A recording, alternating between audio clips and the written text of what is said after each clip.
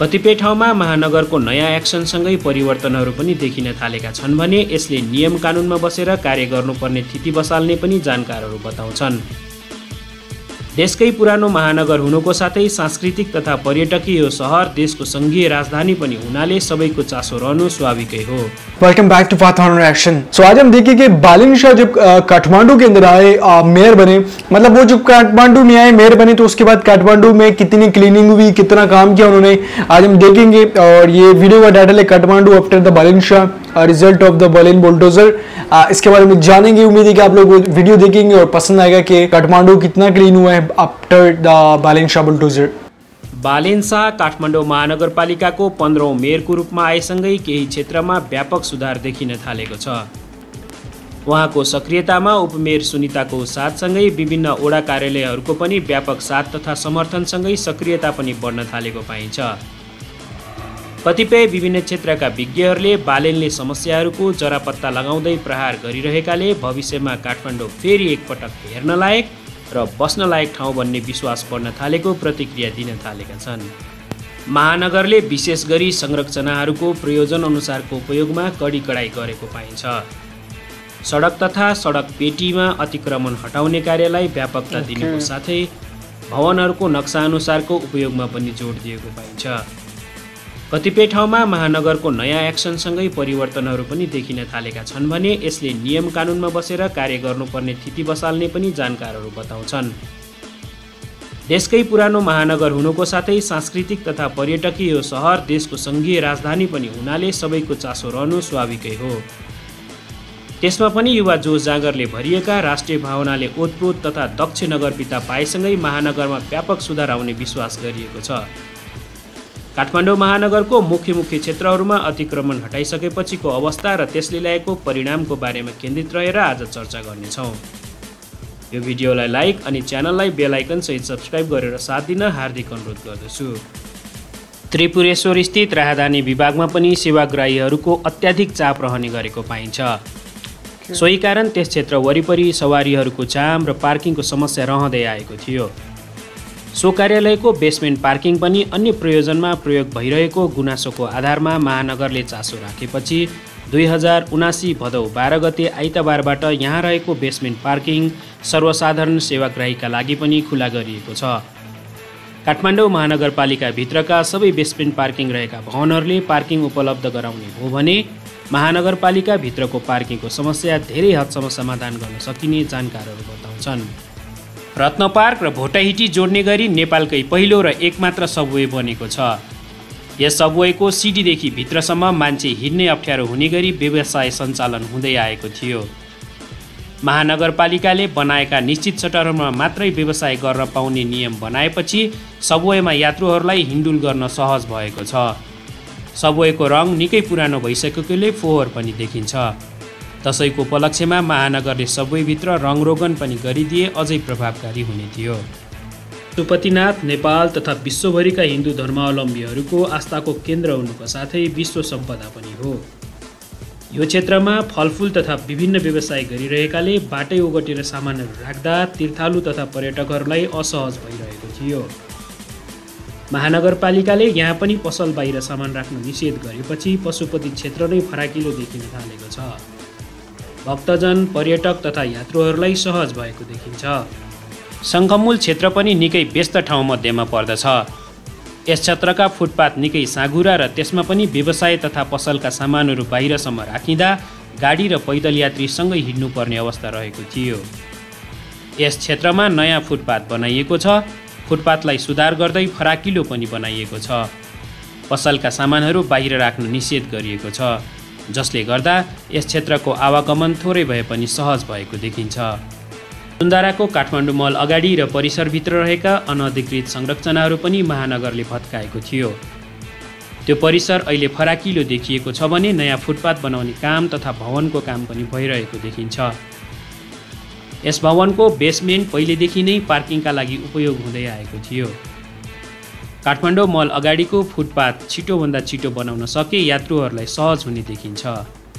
बानेश्वर क्षेत्रमा फुटपाथमा चल्ने व्यापारलाई निषेध गरिएको छ भने बेसमेन्ट पार्किङ राखेर नक्सा पास गरिएका भवनको बेसमेन्टमा सञ्चालित पसलहरू खाली गराइएको छ।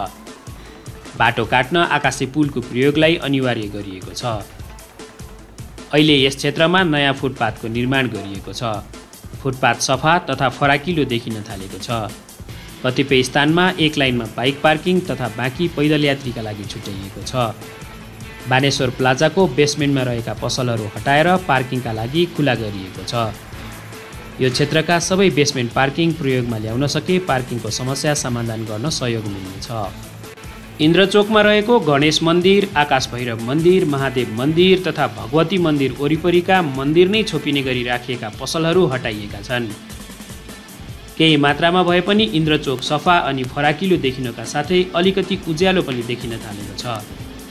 त्यसको साथसाथै असनदेखि इन्द्रचोक हुँदै सुरज आर्किटसम्मको पसलहरूले सडक नै छोपिने गरी सामानहरू राख्ने गरेकोमा त्यसको नियन्त्रणमा पनि कडी कडाउ गरिएको छ। जसले गर्दा यो साँगुरो सडक पनि केही फराकिलो देखिन थालेको छ। नगर प्रहरीले यस कार्यको निरन्तर निगरानी पनि गरिरहेको बताइएको छ। कतिपय व्यवसायीहरूले अटेरी गर्दा उनीहरूले कारवाही पनि भोग्नु परिरहेको छ। महानगर हामी सबैको भएकाले यसलाई सफा सुरक्षित तथा व्यवस्थित बनाउने पनि हामी सबैको कर्तव्य हो। र यस कार्यमा आम समुदाय उद्योगी व्यवसायी कर्मचारी तथा सबैको साथ सहयोग सहकार्य आवश्यक रहन्छ। माछापोखरीको बसन्तपुर क्षेत्रमा पनि महानगरपालिकाले सडक क्षेत्रमा पर्ने टहराहरूमा कारवाही गरेको थियो। त्यस क्षेत्रमा रहेका पसलहरूमा डोजर चलिसकेपछि हाल आफ्नो प्रमाणित सिमानामा टहराको पुनर्निर्माण गरिएको छ। यस ठाउँमा रहेका पसलहरूले एक फिट जति सडक च्यापेको बताइएको थियो। सुरज आर्केटको पनि बेसमेन्ट खाली गराउने काम जारी रहेको देखिन्छ। यो भवनको बेसमेन्टमा नक्सा पास गर्दाको जस्तै पार्किङ सञ्चालनमा आएमा यस क्षेत्रकै पार्किङ तथा ट्राफिक व्यवस्थापनमा सहजता आउने जानकारहरू बताउँछन्। जसले गर्दा हिन्डुल गर्न पनि सहज हुनेछ। तपाईँहरूलाई जानकारी गराइराखौँ बेसमेन्ट पार्किङ सहितको भवन बनाउनेलाई महानगरपालिकाले विभिन्न छुट तथा सुविधाहरू दिएको हुन्छ। नयाँ बस पार्क क्षेत्रमा रहेका सडक तथा फुटपाथ अतिक्रमण गरेर बनाइएका संरचनाहरू हटाउने काम पनि गरिएको थियो। र कतिपय सडकमै बनेका घरहरूलाई पनि घर हटाउन भनिसकिएको छ। बेसमेन्ट पार्किङ प्रयोजन राखिएका घरहरूमा दोहोरी साँझ डान्स बार तथा पसलहरू सञ्चालन गरिएको पाइएकोमा त्यस्ता व्यवसाय खाली गरी बेसमेन्ट पार्किङ भनी नक्सा पास गरिएको ठाउँमा पार्किङ नै सञ्चालन गर्न भनिएको छ। फुटपाथ तथा सडक पनि खुला र केही सफा देखिन थालेको छ। महानगर बनाउने अभियानमा हामी सबैको उचित सहकार्य आवश्यक देखिन्छ। कोटेश्वर जडीबुटी खण्डलाई ट्राफिक व्यवस्थापनका लागि नेपाल सरकारले आठ लेनमा स्तरोन्नति गरेको छ। तर पनि जडीबुटी चोकमा केही पसल तथा यातायात काउन्टरहरू नहटाउँदा सडक सञ्चालनमा समस्या रहेको थियो। त्यसको व्यवस्थापन गर्दै सडकको स्तरोन्नतिको बाँकी रहेको सानो भागको काम पनि अघि बढाइएको छ।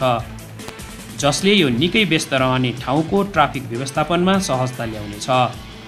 खाली गराइएको खण्डलाई कालोपत्रे गरी सडक सञ्चालनमा ल्याउन प्रक्रिया अघि बढिसकेको छ। यसको अनुमानित लागत चौसठी लाख रुपियाँ रहने जनाइएको छ। आरबी कम्प्लेक्स परिसरमा रहेको अनधिकृत संरचनाहरू हटाउँदा त्यहाँ व्यवसाय गरिरहेकाहरूबाट विरोध पनि भएको थियो।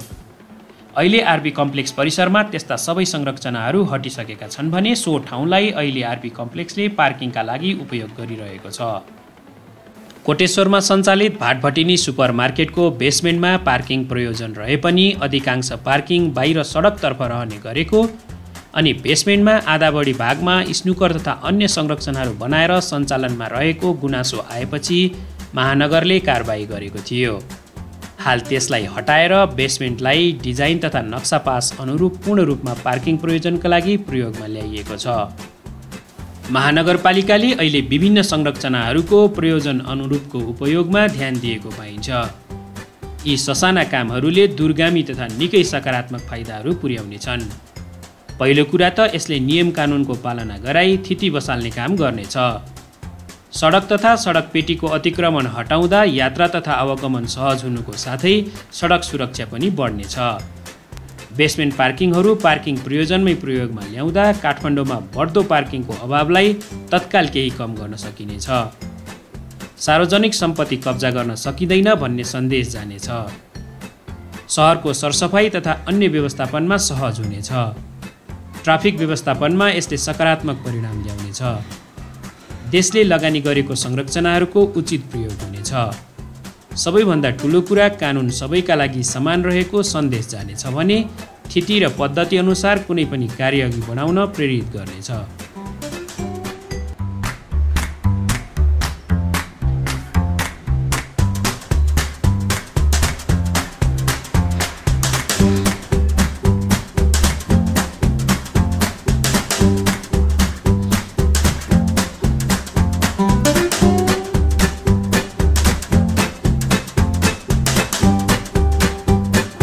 तो उम्मीद है कि आप लोगों ने वीडियो देखिए आपको पता चल गया और कितना डिफरेंस चला आफ्टर बालिन शो और बालिन शो से पहले। यार सीरियसली बात करूँ जिस तरह की बालन शाह कर रहा है वैसे सेम पाकिस्तान के अंदर चीफ जस्टिस कर रहे थे कि उनके हुक्म पे ये सब चल रहा था कराची के अंदर। सो so, एक पॉइंट यहाँ पे ये कि यार जो गरीब थे जिनके ठेले वगैरह थे जो उनके छोटे छोटे कारोबार थे उनको एक अलग जगह देखी उनको काम स्टार्ट कर दिया उनके काम खराब नहीं करनी चाहिए। बाकी जितने मॉल्स है प्लाजे वगैरह हो उनके जो उन्होंने मसला और क्या होता है कि जो मॉल वाले होते हैं वो इस तरह करते कि वो अपना पार्किंग नहीं बनाते वो रोड को क्रॉस रोड पे जाम करते ताकि ज़्यादा लोग आएँगे ट्रैफ़िक जाम होगी तो ज़्यादा लोग विज़िट करेंगे। सो इस चीज़ की वजह से इन्होंने काफ़ी जगहों पे रोड के साइड पे जो इंक्रोचमेंट हुई थी, उसको तोड़ा गया। काफ़ी सारी दुकान को तोड़ा गया, दीवारों को तोड़ा गया। काठमांडू सिटी एक तो बड़ा सिटी है, सही ना? और दूसरा ये कैपिटल सिटी भी है। तो वो कोशिश ये करे कि कैपिटल सिटी और उसके साथ खूबसूरत सिटी उसके साथ बड़ा सिटी है। ये तीन चीज़ें एक ही की सिटी के अंदर तो वो कोशिश ये करी कि जो एक्चुअल इसकी खूबसूरती एक्चुअल जो चीज़ थी, उसको नज़र आना चाहिए ताकि फुटपाथ भी नज़र आए। अब फुटपाथ के अंदर भी एक लाइन जो ना बाइकों की कर दी दूसरी लाइन पे या दूसरी साइड पे लोग आते जाएँगे। तो ये बड़ी अच्छी डेवलपमेंट है बालन शाह की और काफ़ी लोग इसके बारे में बुरा भला भी कह रहे थे कि यार लोगों के कारोबार इससे बंद किया। हाँ मानते हैं यार, हुआ होगा, काफ़ी लोगों का नुकसान हुआ होगा बट ये कि उनको भी एक जगह देनी चाहिए। इसके अलावा ये नालों वगैरह का काम कर रहे थे साफ़ सफ़ाई का भी करवा रहे थे, रोड भी बनवाने का बोल रहे एंड अंडरग्राउंड के ऊपर इनका सबसे मेन फोकस है, क्योंकि यार यहाँ पे, क्योंकि ट्रैफ़िक काफ़ी ज़्यादा जाम हो जाता है और ट्रैफ़िक जाम होने की वजह से ये ये मसला किस वजह से होता है कि पार्किंग नीचे अंडरग्राउंड के अंदर नहीं होती अंडरग्राउंड के अंदर दुकानें बनाई हुई है। और क्या होता है कि बस जब गाड़ी लोग साइड पे पार करेंगे रोड पे तो ट्रैफ़िक जाम हो जाता है। और उसी ट्रैफ़िक की वजह से फिर ज़्यादा मसले पैदा होते हैं। इसी की वजह से सब ये चल रहा है। आप मुझे बताइएगा कि बालनशाह का काम आपको कैसा लग रहा है। और अगर अच्छा लगता है तो लाइक करें शेयर करें चैनल को सब्सक्राइब करें। फिर मिलता है किसी नेक्स्ट वीडियो में। तब तक के लिए, अल्लाह हाफिज़।